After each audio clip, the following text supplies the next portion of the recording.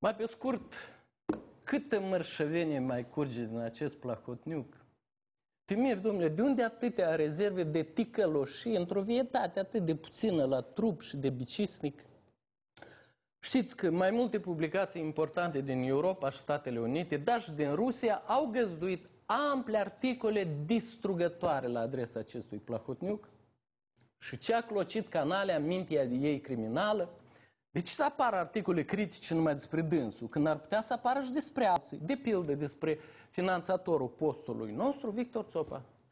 Bineînțeles, Placotniuc ar fi în stare să plătească milioane pentru ca asemenea articole să apară tot în niște publicații importante, ca și cele care au scris despre el. Dar ziarele serioase nu își vând prestigiul și onoarea unor bandiți ca Placotniuc, și atunci știți ce face el, țineți-vă bine.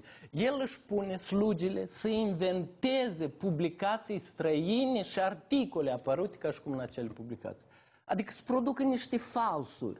Vă mai amintiți, bineînțeles, că înainte de protestul la 24 aprilie, i-a inventat lui Andrei Năstase un blog în care acesta, ca și cum chema protestatare la violență.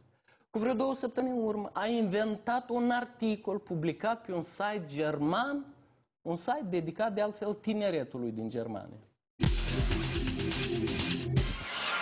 Dar eu în cele ce urmează o să mă refer la ultimul fals al lui Plahotniuc, o așa zisă publicație poloneză.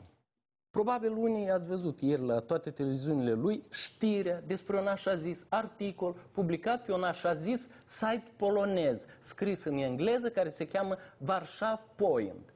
În traducere ar fi punctul de vedere al Varșovei.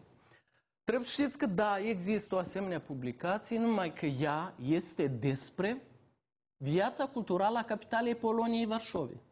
Și prima întrebare care îți vine, oare ce-o fi venit unei publicații despre viața culturală a Varșovei să scrie despre Victor Țopa? Dar lucrurile cele mai interesante abia urmează. Adevărul este că această publicație nu mai este funcțională din anul 2008.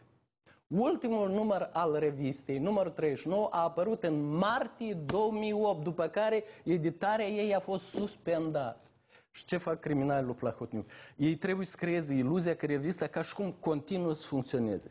Și iau articole de pe diferite alte site-uri, care, apropo, iarăși, articolele nu au nici în clin, nici în mâini cu viața culturală a Varșovei. Și le plasează pe site-ul respectiv, acest Point Varșov. De parcă ar aparține site-ului. În realitate, toate textele sunt preluate și la un simplu click eu am găsit respectivele articole pe site-urile de pe care au fost preluate.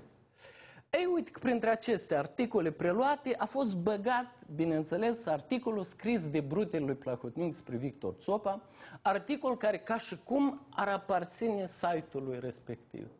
Și-au dat truda băieții să-l traduc și în engleză, și după ce a făcut trebușoara asta, Placotniuc și-a pus toate televiziunile să facă știri despre un articol scris, de fapt, de slugile lui și a apărut pe un site polonez suspendat din anul 2008.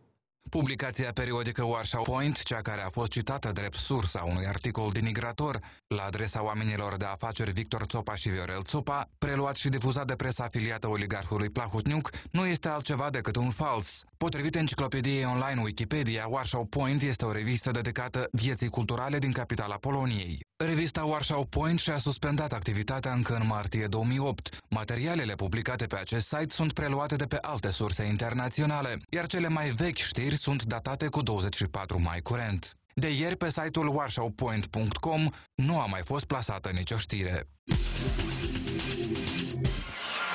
Mai pe scurt, eh, alo, ambasada Poloniei și instituțiile de resort din Polonia, alo, cei din Polonia care mai aveți atribuții la publicația Warsaw Point, nu credeți că trebuie să luați atitudine.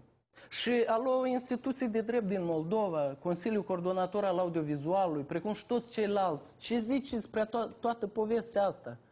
A, pardon. Pardon pentru deran, știu că voi o să vă prefaceți cu toții morți în Pupșoi.